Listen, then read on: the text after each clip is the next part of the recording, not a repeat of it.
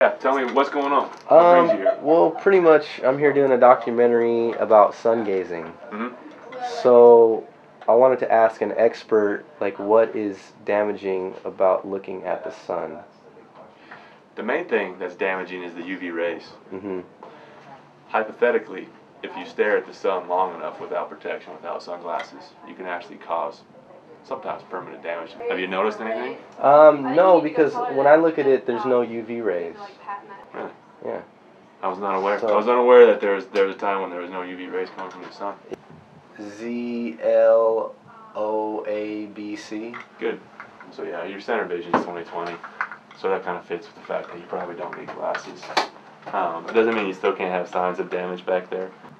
So yeah, you're nice and dilated. This is just a slit lamp. It's kind of a fancy camera that lets us look at everything under high magnification. Good. Just look right here at my. Your eyes never feel dry or don't dry out with looking at the sun, do they? Uh, no. Alright, so the back of your eyes actually look pretty healthy. I don't see any of the sunspots or signs of damage um,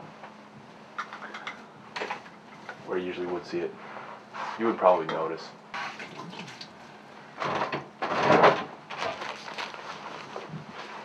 All right, so Dr. Watts tells me your eyes are healthy at this point.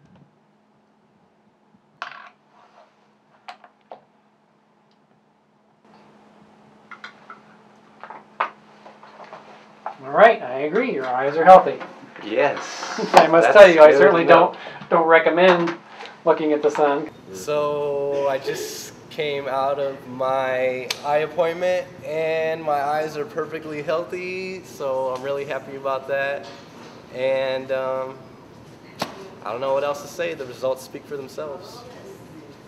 So sun gazing is healthy.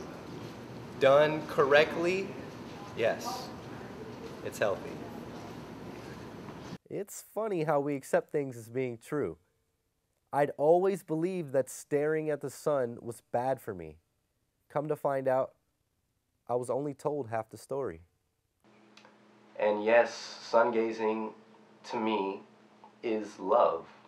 Without the sun, nothing, none of us would exist on this planet. So, to me, gazing at the sun is getting in touch with that love that's always extended to us at all times.